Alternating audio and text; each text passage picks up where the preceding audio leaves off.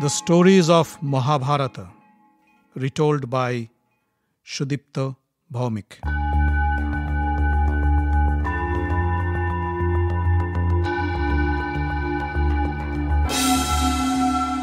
It was the time of the Dwapar Yuga. The great rishi or sage Vyasa composed an epic poem which he called the Mahabharata. Rishi Vyasa was the son of Satyavati and Rishi Parashara. Since he was of dark complexion and was born in an island, he was also called Krishna Dwaipayan Vyasa. Vyasa composed the poem but couldn't write it down because his thoughts ran faster than his pen. So he was looking for a scribe who could write the verses at the same speed with which he recited them. But he could find none. Vyasa invoked Lord Brahma. Brahma appeared before Vyasa and asked, Why did you call me Vyasa? What do you want? Vyasa said, O Lord, I have composed this wonderful poem, an epic. It is the story of mankind, the story of our humanity. But I need someone who can write it while I recite the verses. Can you recommend someone?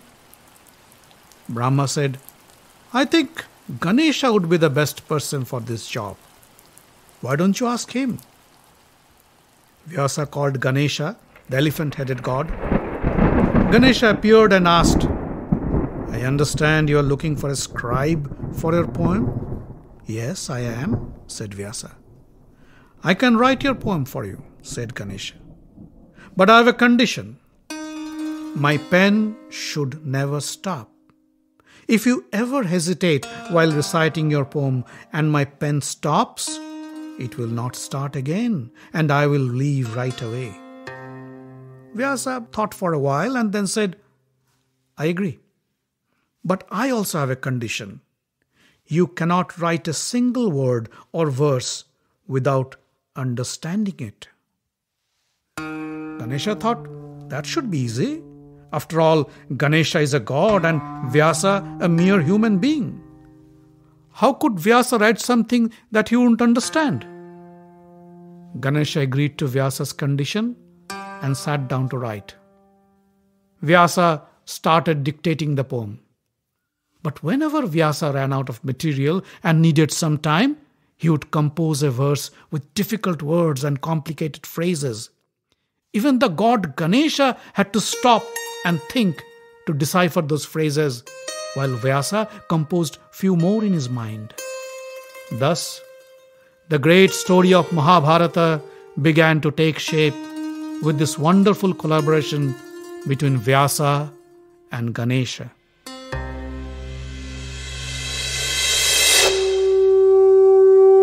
Long, long ago, there lived a king named Shantanu who ruled over a vast kingdom in the northern India. Hastinapur was the capital of this kingdom. One day, Shantanu was strolling along the river bank, enjoying the cool breeze and listening to the soothing sounds of the flowing water. Suddenly, he saw a beautiful maiden rise from the water and walk towards the river bank. Shantanu was awestruck by her exquisite beauty, and he understood what love at first sight meant. He felt an invisible force pull him towards the lady as he lost all control over himself. He stood in front of the gorgeous lady and asked, Whoever you are, my lady, I am in love with you and I cannot live a single moment without you. Please, please marry me and save my life. I, King Shantanu of Hastinapur, beg for your mercy. The lady smiled and said, I am flattered, O king. But I have a couple of conditions for any suitor who wants to marry me. If you can agree to my conditions, I'll marry you. But I must warn you these conditions are not easy to keep, especially for a husband. Shantanu said, For you, I can agree to any condition. The lady smiled again and said, listen to them before you agree. First, you can never ask or inquire about who I am or where I come from.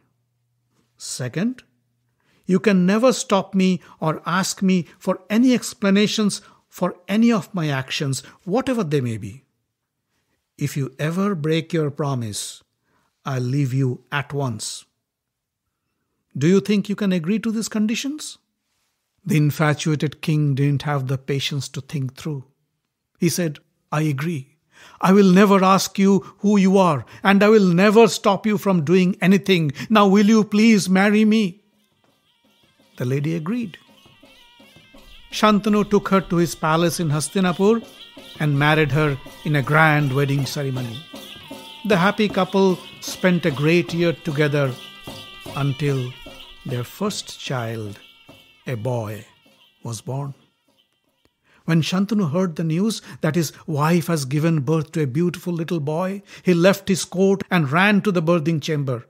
But as he entered the room, he saw his queen pick up the newborn baby, wrap him in a shawl, and walk out of the room. Shantanu was about to ask where she was going, but he remembered his promise and kept quiet. He followed her as she left the palace and went to the bank of the river where they had first met. And there he saw his queen drop the baby into the river, and within moments the boy sunk into the deep waters. Shantanu was horrified. How could a mother do such a thing to her own child? He wanted to scream at his wife. But again, he remembered his promise not to ask any questions or demand any explanations. He was heartbroken, but he kept his mouth shut. After about a year, when Shantanu had almost forgotten the trauma of losing his first son, the queen gave birth to another child. And this time too, the shocked king saw his queen drown the baby in the river right after his birth. Shantanu could neither protest nor demand any explanation for her horrific behavior. One after another, the queen gave birth to seven sons, and each time she took the baby and drowned him in the river. The king, bound by his promise, stood silent and watched the tragic events. When the eighth son was born, and the queen was about to drown the baby in the river, Shantanu couldn't take it anymore. He shouted, Stop! Stop this! I won't tolerate this anymore. The queen stopped and said, But you have promised. The angry king said, I don't care for my promise anymore. How could you be so cruel? How could you kill your own child? I have kept my mouth shut all these years, but I won't let you kill my child any more. The queen smiled and said, You have broken your promise. Hence, I must leave you. But before I leave, I'll tell you the reasons for my action. I am Ganga, the river goddess. These eight sons, seven of whom I have drowned in the river, are the eight Vasus of the heavens. Once, the Vasus visited Rishi Vashishta's ashram. Provoked by their wives, they stole Vashishta's cow, Nandini. Vashishta was furious and cursed them that they would be born as humans and go through the sufferings as any human does. The Vasus were scared. They cried and prayed for his mercy. Only Prabhasha, the eighth Vasu, the one who stole the cow, stood defiant. Finally, Vashishta calmed down, but he couldn't take back his curse. He said, The Vasus would have to be born as humans, but the seven of them who begged for his mercy would be short lived. I was assigned to be their mother, and I had to relieve them of their curse by drowning them right after their birth. But the eighth Vasu, Prabhasha, would live a long life on this earth and endure the sufferings of human life. The eighth son of yours is the eighth Vasu, Prabhasha. Shantanu was amazed to hear this story. He pleaded to Ganga, Please, please don't leave. It would be hard for a boy to grow up without a mother. Ganga said, I am sorry. My job is over and I must go now. I'll take this child with me and train him to be your worthy son. Then one day I will return your son to you. Saying so, she disappeared into the river with the newborn baby. Shantanu was heartbroken. He was sad and depressed. Every day, Shantanu would go back to the river bank with the faint hope to see Ganga come back with her son. Days passed, months passed, years passed, but Ganga didn't come back. Finally, one day, while he was taking his usual stroll on the river bank, he saw a handsome young boy playing on the banks of the river. Shantanu felt a strange attraction towards the boy. As he walked towards the boy to ask him who he was, Ganga appeared from the river. She came to Shantanu and said, O king, here is your son, the eighth child whom I took away with me. He has grown up and mastered the arts of warfare from the great rishi Parashurama, and he is as skilled and powerful as his guru. He has learned all the scriptures and holy texts from the great sage Vashishta and has become the wisest of the wise. His name is Devabrata. And as I had promised, I have come to return your son to you. Please accept him. Shantanu was ecstatic with joy. He embraced Devabrata and took him to his palace in Hastinapur.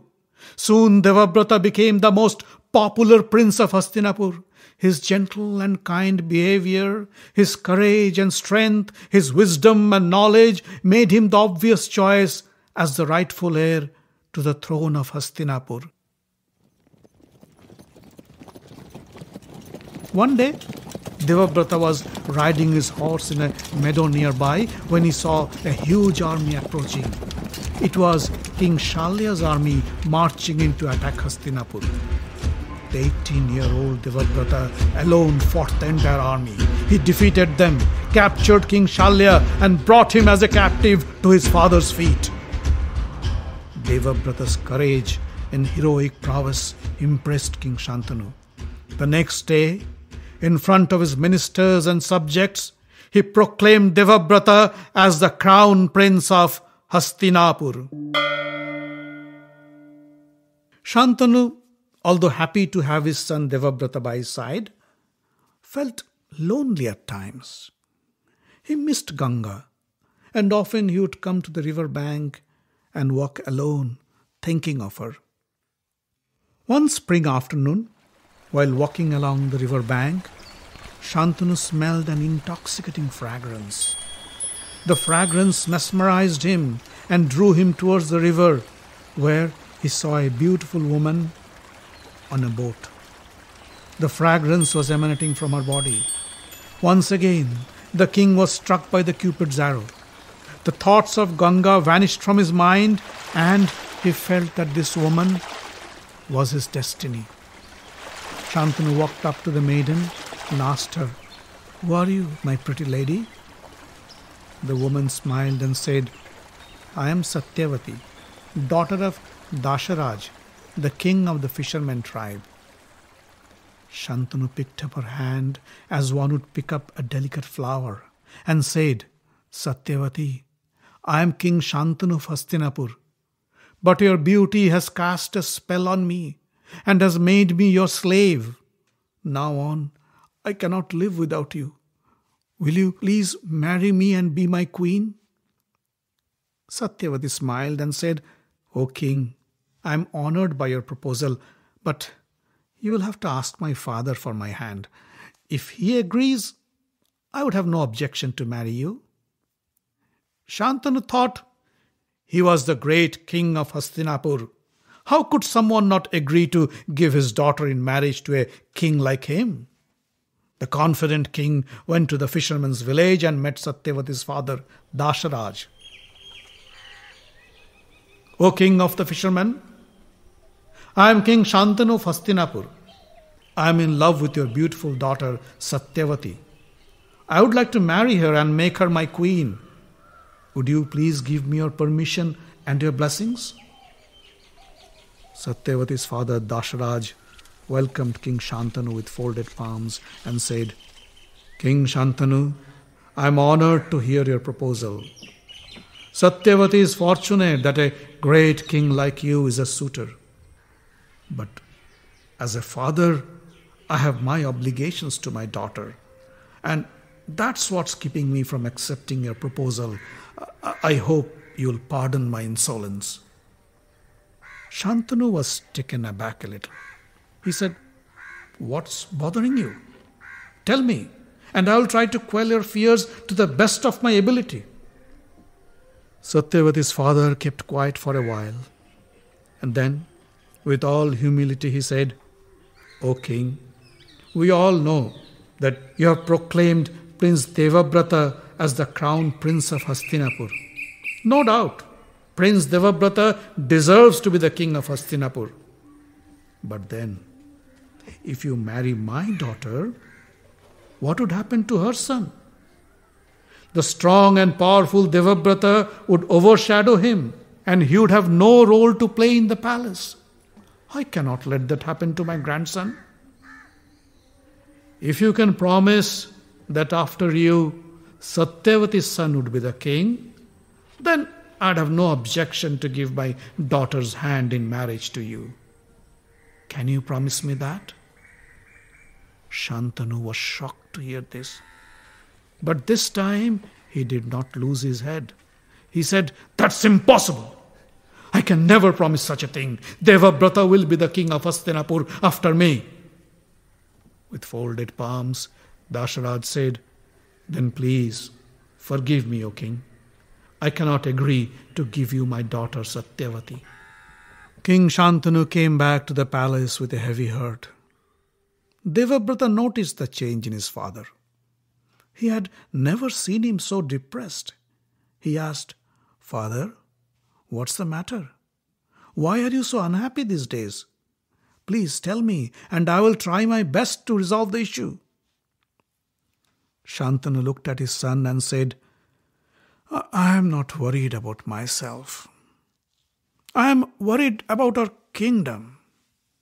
Our enemies keep on attacking us from all directions, and you have been fighting them all. I know, I know you are invincible. No mortal can defeat you in war. But accidents happen. If something ever happens to you, what will happen to this kingdom?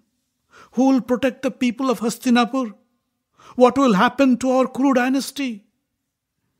Wise men say having only one son is same as having none. Devabrata sensed that something more must have been bothering his father. He inquired with the ministers and other well wishers of the king. Finally, the king's charioteer gave Devabrata the real cause of his father's depression. The charioteer told Devabrata about Satyavati and how her father Dasharaj had rejected Shantanu's proposal to marry her. Devabrata mounted his chariot and dashed to Satyavati's father.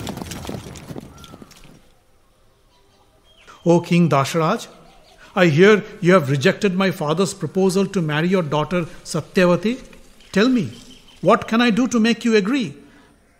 Dasharaj said, I have already told your father my condition. I am concerned that if your father marries my daughter Satyavati, my grandchildren would be deprived. You are the crown prince of Hastinapur, and after your father, you would be the king, and my grandchildren will have no chance.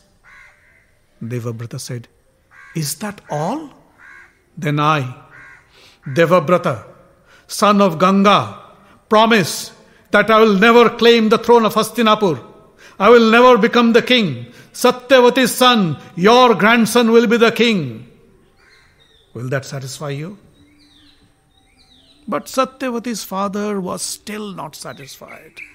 He said, That's very kind of you, Prince Devabrata. But even if you renounce the throne, what about your children? When they grow up, they would stake their claim to the throne for sure. And this can result in a dangerous feud in the family. I cannot allow this to happen. Devabrata thought for a while. Then he spoke. O king, I stand before you, before the gods, and I promise that I will never marry and I will stay celibate forever. Hearing this profound vow, the gods showered flowers on Devabrata. They all chanted, Bhishma, Bhishma. Henceforth, for this Bhisham or profound vow, he was named Bhishma. The fisherman king was pleased with Bhishma's promise and agreed to give Satyavati in marriage to King Shantanu. Bhishma took Satyavati on his chariot and brought her to the palace in front of his father Shantanu. Satyavati's arrival washed away Shantanu's depression. The happy king embraced his son in gratitude. Soon, the marriage ceremony was held, and Satyavati became the queen of Hastinapura. But when Shantanu came to know of his son's terrible promise, he was heartbroken. Bhishma consoled him. Father, Father, your happiness is more than anything I can ask for. I can give up my life to see a smile on your face. This vow is nothing in comparison. Shantanu blessed his son and said, My dear son, I give you this boon that you will have the power to decide your time of death. No one would be able to kill you unless you want to die. This boon, just short of immortality, made Bhishma invincible to anybody except himself.